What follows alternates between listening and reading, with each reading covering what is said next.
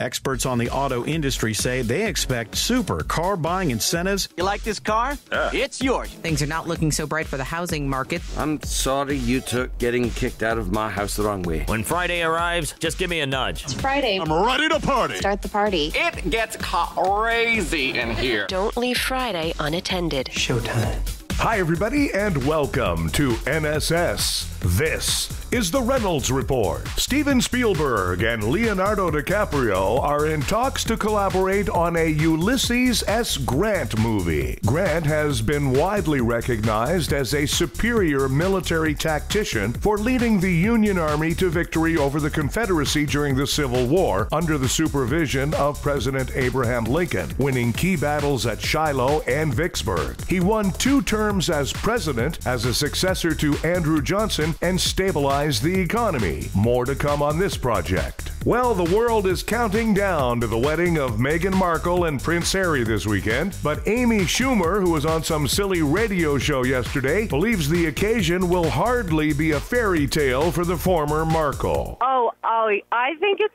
so funny. Like we, I, I, I wanted to do a piece where, I mean, this poor girl. Like your wedding, you know, hmm. everyone says it's your day, right?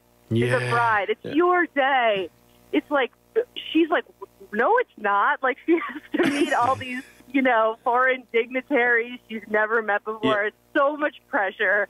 It's like, can you imagine having a worse wedding? That I mean, that would mm. suck. It's like her her girls from high school aren't going to be there. Like my friends were all like high and drunk at my wedding. You know, everyone there. It's just like a, it's like a parade. It's like a, it's like the I Westminster know, Dog know. Show. It's all pompous and circumstance. Now, from Calvin Klein, a new fragrance blending the West with, with Russia. A wafting aroma combining power, greed, and deceit. Deceit, Collusion. Collusion. You can smell the conspiracy. Anything to win. Unrefined and uncivilized. And yet, so underhanded. There's no denying. Your lawyer will love it. Now available with a six month subscription from the New York Times. And coming soon, Incrimination. Fake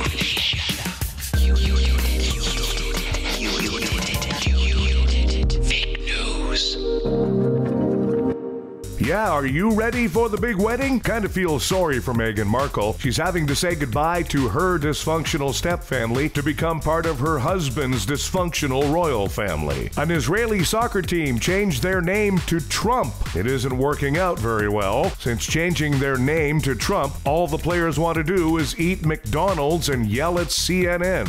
Insiders say that two of the White House's economic advisors got into a profanity laced screaming match with each other.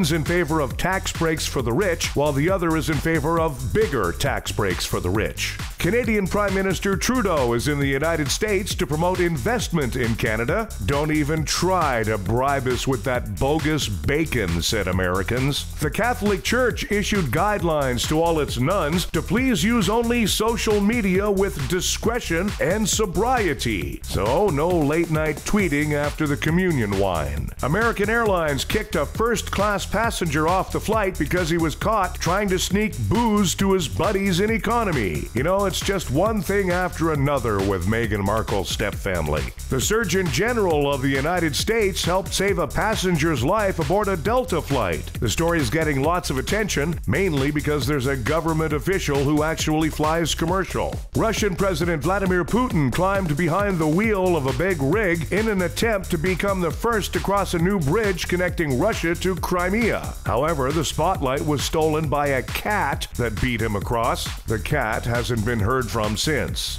Time for Nobody Gives a F- Stan Lee, the creator of some of your favorite superheroes, including Spider Man, says a company that he created stole his identity. His secret identity. Hey, Avengers, nobody gives a f- a Perth, Australia restaurant is giving customers water pistols to scare away seagulls because seagulls have never seen water before or anything. Hey, stupid Aussies, nobody gives a f- And Chili's restaurants got hacked and customer data was stolen. You know, it's bad enough that they have my credit card information. Now they know that I've eaten over 25,000 chicken crispers in my life. Hey, stupid restaurants. Nobody gives a f. Thanks, everybody. We have a new episode of the Reynolds Report for you every weekday. Be sure to check out NSS Live, starring Frank D'Angelo and his celebrity panel of guests, live Tuesdays and Thursdays on NSS.